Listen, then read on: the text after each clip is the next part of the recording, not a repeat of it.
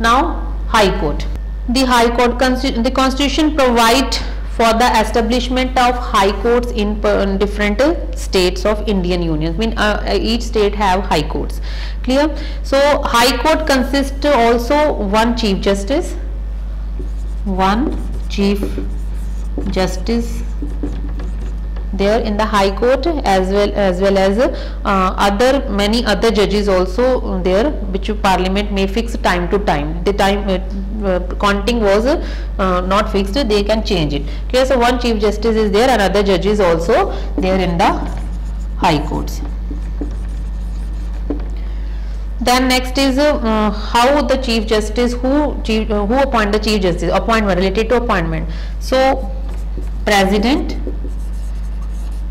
is the one who appoint the judges of Supreme Court as well as the judges of uh, High Court. Uh, but the President can be consult regarding the Chief Justice appointment. He can take the consultation of Chief Justice of Supreme Court.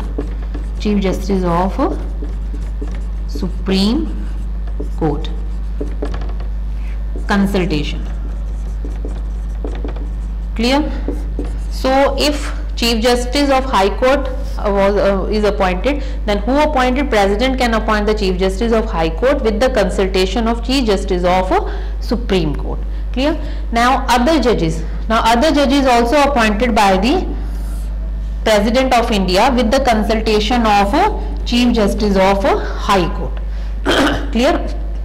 So, he can consult with Chief Justice Supreme Court as well as Governor, Governor of a state governor. So he can take the consultation of these two persons regarding the appointment of Chief Justice of High Court and other judges if appointed then he can consult with the Chief Justice of High Court.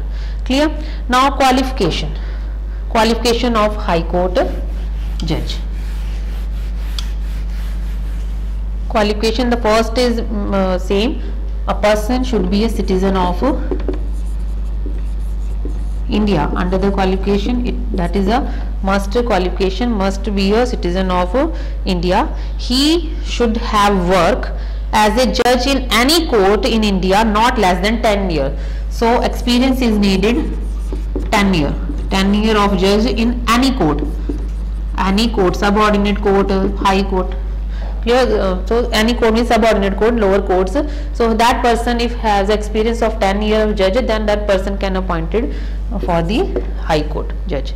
Then he should have work as an advocate. Advocate in the high court or high court in india continuously for 10 years. So advocate. Advocate how many uh, years experience needed? 10 year experience is needed as a advocate in a high court. So if he is an advocate experience of 10 year is there then person can become the judge of a high court. Then Fourth is he should be uh, famous scholar in the field of law. Clear? So famous person, famous scholar in the field of law also become the uh, judges of uh, High Court. Clear? Now powers. So qualifications clear to all of you. Next is powers of the High Court. Powers of High Court under the powers uh, same thing is there. Uh, original and appellate two type of jurisdiction is there under the original jurisdiction. Which type of case is brought? Uh, the under the original field of the judicial function of high court is very limited. Cases related to fundamental right. Fundamental right. Divorce clear divorce wills and laws. Such type of cases can brought to the high court for hearing under the original jurisdiction directly. Clear? Now appellate jurisdiction where appeal is needed. Appeal or uh, appeal is needed. So that why this uh, uh, heading is appeal late jurisdiction. Clear? So under the appellate jurisdiction uh, appeal in civil and criminal. Both type of cases can brought to the high court uh, under the appellate civil as well as criminal. Both type of cases can brought to high court uh, uh, are made to the high court against the decision of subordinate court. Means if subordinate court handling the uh, case related to civil or criminal and such type of cases they can uh, after giving the decision they can brow to the high court for second opinion second hearing. So high court supervise the function of all the decision which is given by the subordinate related to any case. So after that they can transfer uh, to itself okay, or transfer to high court.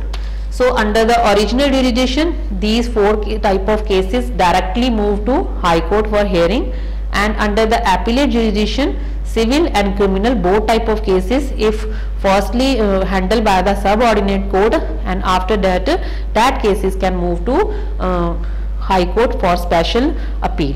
Clear?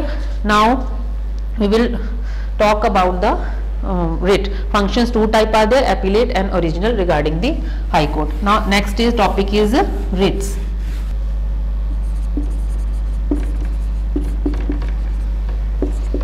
second is prohibition. Third is certiorari. Fourth is mandamus. And the fifth one is quo warranto so total five writs given by the constitution of india regarding the fundamental right. Means if fundamental rights uh, which is given by the constitution to every citizen of india that infringed uh, upon by any person any group uh, if uh, any person violated the fundamental right which is given to a particular person that person can directly move to the supreme court or high court for uh, justice. Clear? So the writ was issued by the court regarding this under the first writ is habeas corpus so what is habeas corpus habeas corpus means to have a body. Means uh, such, such type of uh, writ when it, it was it is issued during that time if any person's body unlawfully captured by any person or group of person or any uh, community clear? So if body of any person captured by anybody unlawfully illegally during that time habeas corpus writ can issue regarding the against that uh, particular state or particular person for the safeguard of the safeguard of the citizen clear? So this is a protection given to the uh, given by the constitution to us that our body can we can uh, regain by by passing the habeas corpus next is prohibition. Second writ is prohibition. Such a uh, such type of writ is an order. Prohibition means an order uh, given by the high court given by the top court means supreme court is at on the apex given by the supreme court to the lower court means to inferior courts which run uh, after that high court and subordinate court. So after issuing the prohibition they can stop the proceeding of any case. By issuing uh, this writ the court the court can stop the proceeding of any lower court. If any cause, case is discussed in lower court in subordinate court by passing the prohibition that case can stop. Then certiorari. Certiorari is also a writ little but is, uh, bit is difference between the prohibition and certiorari. In case of prohibition only the proceeding stop but in uh, certiorari in that case uh, the whatever the cases is handled by the lower court they can stop it. Okay? Only the they can reject.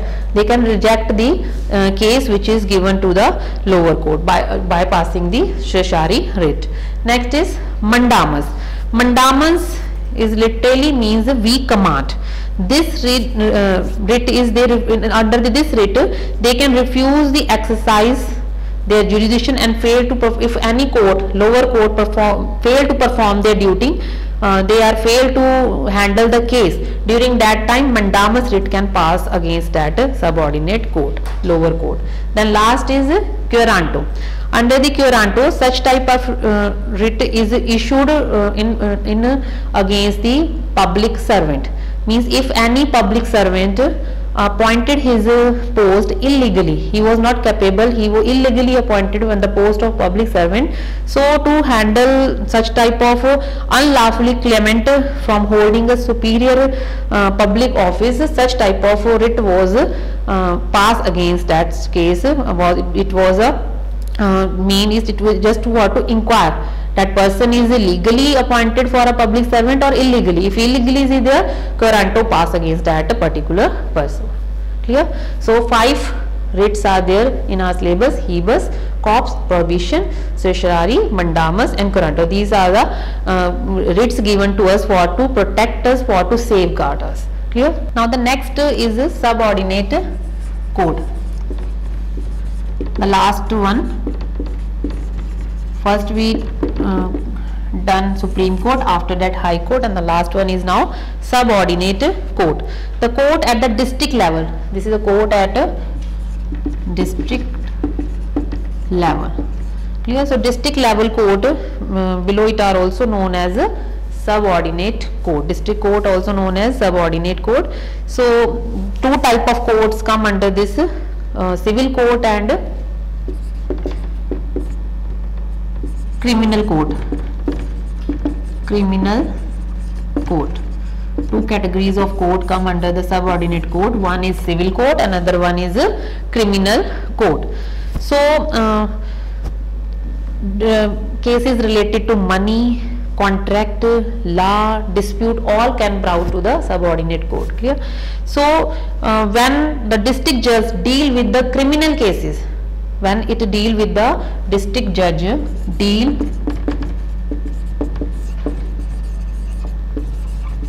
when district judge deal the criminal cases he was known as session judge. That is an important question.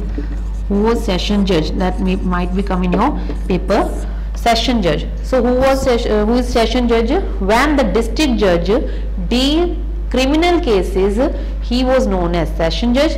When he deal with civil cases he is known as a district judge. Clear? Only the name change while performing his duty. So both type of cases handled by him. Clear? So subordinate court also performs uh, civil cases as well as uh, criminal cases. Criminal cases uh, smaller one. Clear?